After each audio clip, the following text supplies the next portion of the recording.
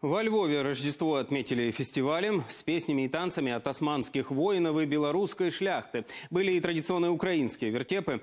На Львовской ярмарке побывала и наш корреспондент Галина Якушка.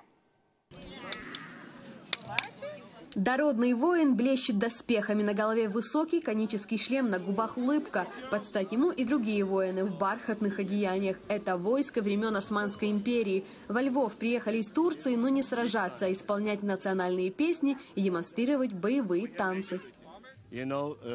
Когда наша армия шла на войну во времена Османской империи, впереди был музыкальный полк. Воины пели и придавали мужество всей армии. Их одежда специально такой расцветки, чтобы было заметно в пасмурную погоду. А это костюмы нашей пинской шляхты.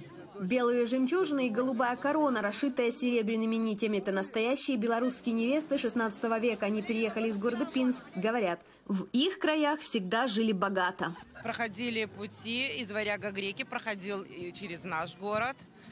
Поэтому город богатый, богатые костюмы такие. Праздничная одежда богатых горожан. 25 километров от границы с Украиной убиваем. Михайловцы, Словакия.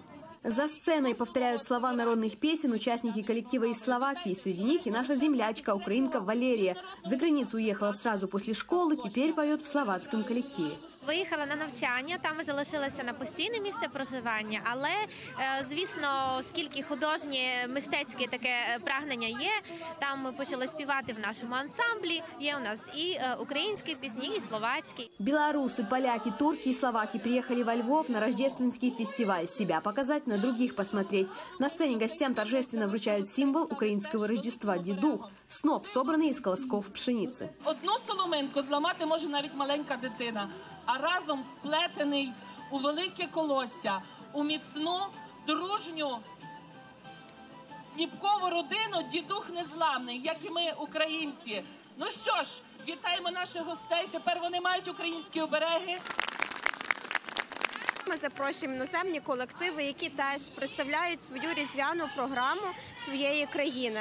Ми вважаємо, що це добрий такий меседж для всього світу про те, що найкраще святкують Різдво в Україні, а саме у Львові. Выступал на сцене и традиционный украинский вертеп «Царь, ангелы, Ирод и черт». Желали всем добра и мирного неба над головой. Галина Якушка, Юрий Голубинка. Подробности телеканал Интер Львов.